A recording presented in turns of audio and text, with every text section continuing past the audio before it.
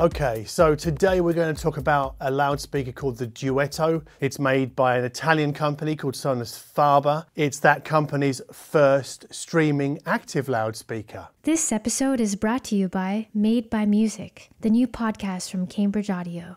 Welcome back, everybody. Yes, I've spent the last three months with the Duetto, and in this video, I'm going to explain what the Duetto are, what they do, and how they compare to a similarly priced streaming active loudspeaker. Now the Duetto is an active speaker that's designed in Italy and made in China and they sell for 4,000 euros a pair. And in case you didn't know, active means that the amplifiers come after the crossover and that we get one amp per driver and we also get one DAC per driver too. And those amps and DACs sit inside the speaker cabinet itself. So the waveguide soft dome tweeter is powered by a 100 watt class A B amp and the long throw mid bass driver is driven by a 250 watt class D amp. So we've got a mixture of class AB and class D. A more visible talking point is the rear firing bass reflex port, which is mounted within like a ribbed die cast aluminium heatsink or aluminum in the USA and Canada and that's designed to cool the electronics inside the loudspeaker because that's what heat sinks do, right? They draw the heat away. Now let's talk about something I don't like, and it's a problem that might be unique to my circumstances. And that problem is I can't get a hardwired digital connection successfully between my Samsung Frame TV and the Duetto. So irrespective of whether I use the HDMI ARC connection on the back of the main speaker or a Toslink connection, I get glitches in the sound every five to 10 seconds. Now that could be because this pair of Duetto, you can see them behind me, are a pre-production version. But hold that thought because we'll be coming back to it later on in this video. Now thankfully there's an alternative. I can route my Apple TV's AirPlay digital streaming output into the AirPlay 2 digital streaming input of the Duettos and I get fully synced, yeah, properly synced sound and audio. Sound and audio? Video and audio. And that's because the primary Duetto speaker, in my case on the right hand side, that houses a network streamer that does Bluetooth, Spotify Connect, Tidal Connect, Apple AirPlay 2 that I just mentioned, Google Chromecast and Roon Ready. Well, Roon Ready eventually, it's not certified just yet, certainly not at time of taping. And outside of edge cases like Squeezelite and Plex, what the Duetto offers in terms of streaming support, I think is as good as it gets for a product of this type. I think it's really impressive.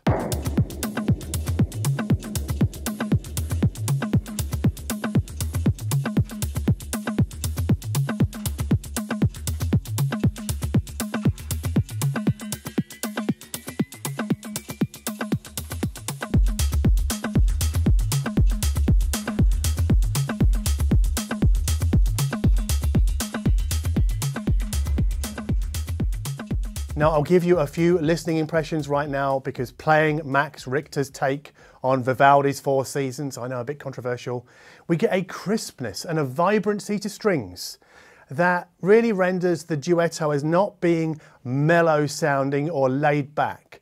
This is a speaker that sits up straight with its shoulders back. But Art Brut's 18,000 lira tells us that the duetto aren't overly strident with aggressive and poorly recorded indie punk rock which for me is a relief because I just love that kind of music. I love Art Brut, I love indie rock and punk rock and just sounding records like Wire and obviously the Sex Pistols, but also lesser known bands like The Rakes and also the first Horrors album.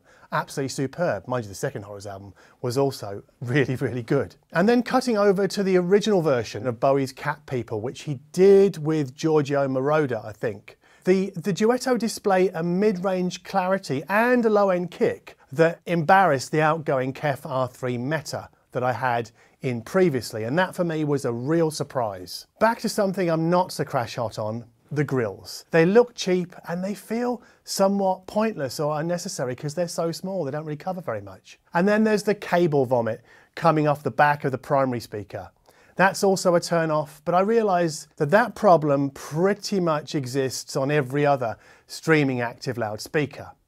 Well, apart from one, which we'll get to in a bit. But cable vomit on the Duetto is pretty much unavoidable when you want to hardwire in your TV using HDMI eARC or Toslink, and it's unavoidable if you want to hardwire in a turntable to its MM Phono input, or you want to hardwire in obviously a subwoofer, or connect an Ethernet cable for streaming.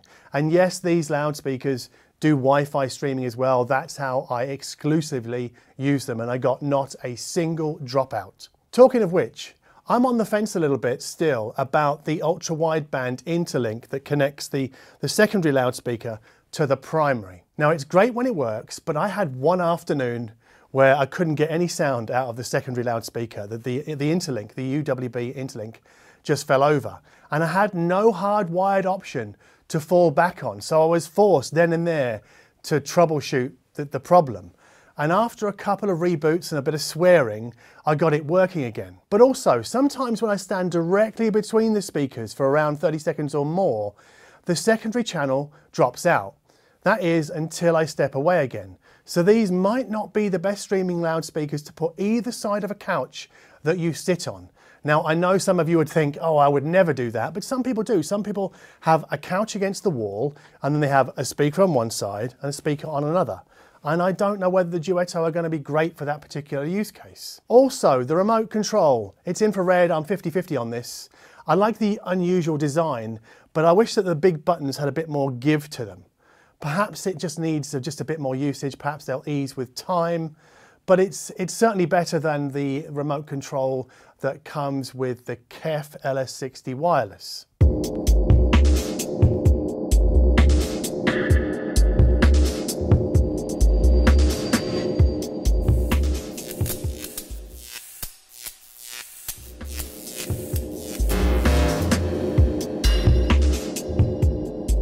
Now something that I really like are the light display and touch controls that Sonus Faber have integrated into the vegan leather covering on the top of the loudspeaker, on the top of the primary loudspeaker.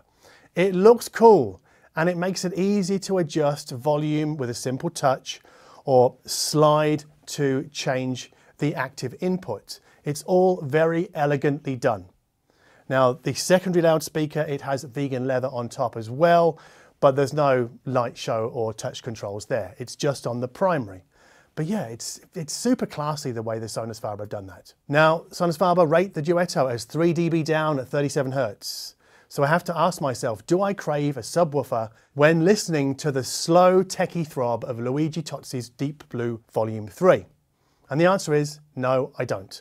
And that's possibly because the low-end action produced by the Duetto has plenty of hip thrust, plenty of whomp, plenty of oomph. And because the Duetto's crossover is done in DSP, Sonus Faber has also added Fletcher-Munson curve correction to improve listener satisfaction at lower listening levels. What that means is, is that basically our hearing is less sensitive to bass and treble at low volume levels, which is why they put the loudness button on many vintage amplifiers or what are now vintage amplifiers.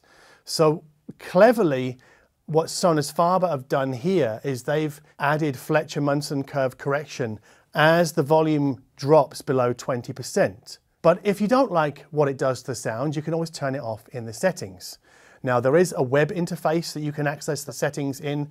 There's also an app, but I haven't used the app because I did all of my listening and testing before it was released and certainly well before we filmed the B-roll for this video. So you're not going to see it in this video at all. I'm really sorry. But you don't really need to because we've got Roon and AirPlay and Chromecast and Spotify Connect and Tidal Connect. So I guess people wanting to integrate Qobuz streaming, you'll probably need to do that inside the Sonus Faber app. I'm assuming it you know integrates it there. But I think I don't know 95% of people will find some app that's external to the Sonus Faber Duettos app that works for them. Anyway, I'm getting off track here because you know what other streaming loudspeaker does Fletcher-Munson curve correction and sells for 4,000 euros a pair? Yep, you guessed it, the A500 from Denmark's Buchardt. So I teed up this side-by-side -side comparison by loading the stock neutral or the neutral stock master tuning onto the A500 and spinning once again, because I'm on a real kick with this guy at the moment, the 2023 remaster of Swordfish Trombones by Tom Waits. Now, the Duetto come on for me with greater transparency and better top end extension than the Buchardts, and the Sonus Faber also do a better job in delivering the percussive snap heard on the track Trouble's Braids. The transient attack on that track sounds more crisp fried at the edges. And the percussive snap that emanates from the Buchardts, it does so with a decent jump factor. But from the Duetto, it's positively startling, recalling the dynamic reflexes of a Klipsch loudspeaker. And the Hammond organ that steers, I think, what is Tom Waits' funniest track of all time. And that's amongst some fairly stiff competition. The Hammond organ that kind of steers us through that track cuts through more cleanly in Italian hands. And this leaves the A500 to me sounding a little reticent and a little murky. And that's definitely not something we'd call out when hearing the Buchardt in isolation. They are still an incredible loudspeaker. But such is the instructiveness of a side-by-side -side comparison. And so I hear the Danes paint a little extra warmth on the edges of bass notes to come on as slightly thicker in the mid bass than the Sonus Faber. And on the low end dynamics necessitated or called for by a Modeselektor album, the two speaker models are reasonably evenly matched, but the Buchardt sound the weightier of the two, whereas the Sonus Faber is the more fleet of foot. And when watching movies, the lowest sounds that underpin action sequences are better defined by the Sonus Faber, which in turn makes them sound yeah, I guess the more visceral of the two loudspeakers. Again, another surprise for me. And that sort of extra edge definition also helps with dialogue intelligibility. And not even the extra details master tuning applied to the Buchardt loudspeaker could coax enough from them to match the Duetto on basically top to bottom clarity. But of course, the Buchardt gives us the audible flexibility of those master tunings, and the Duetto's boundary proximity settings look a bit feeble when sat next to the Platin Hub's room correction smarts, which can now be done with a wireless microphone and not just an iPhone or an Android phone. And the Wisa firing Platin Hub is still my preferred way to keep things visually tidy cable-wise. It helps us sidestep the cable vomit that yawns from the back of an active loudspeaker's primary box.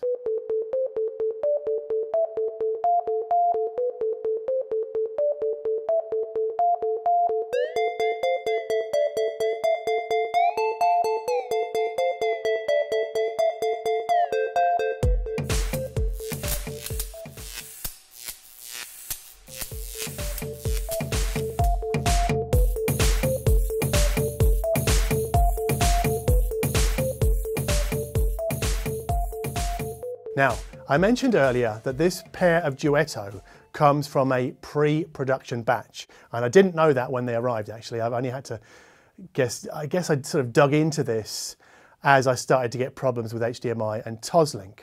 So that could be the reason why this particular pair are misbehaving with HDMI ARC and Toslink. And it could be just my Samsung TV, I don't know for sure.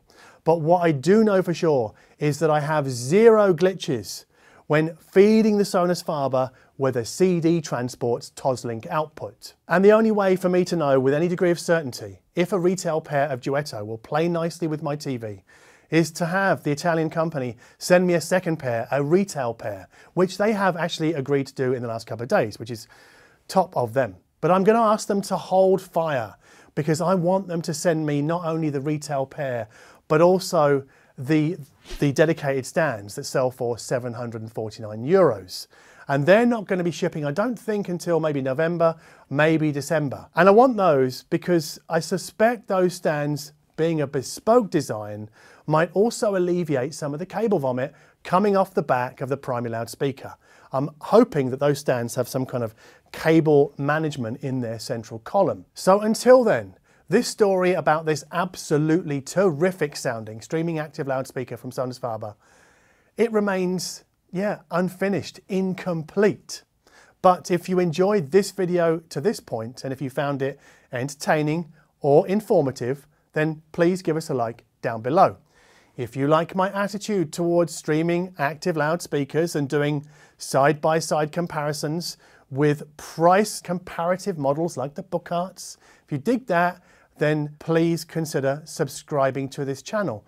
And also, if you understand that I don't have any other comparably priced streaming active loudspeakers here to do other comparisons. I did say this video was going to be a bit light on comparisons because I did so many for the, the WiiM Pro Plus. So if you can live with that, then please consider subscribing to this channel below. And as always, thank you ever so much for watching.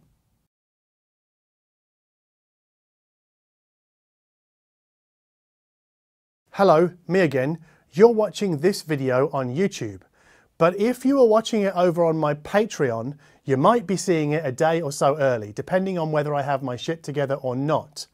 Now, the Patreon version of this video might not have as many outtakes as the previous Patreon videos, but also on Patreon this month, I've made an exclusive video, a Patreon exclusive video, about all the products that I'm going to be reviewing between now and the end of the year. Well, most of them anyway. I did hold a couple back because I'm not sure when they're going to arrive. But that's that's also on Patreon, and we're giving away a couple of things. And also, many of you asked, like, what's that song? Now, I'm happy for you to Shazam my videos. Of course I am. Like, why wouldn't I be? But my patrons, I spare them the chore of having to do that and I build them playlists for every video that I make, both featuring the music that I talk about in the video and the music heard in the interludes. So if you'll consider supporting me over on Patreon, even if it's just for a month, just to buy me a cup of coffee or something, that will be splendid. So thank you very much.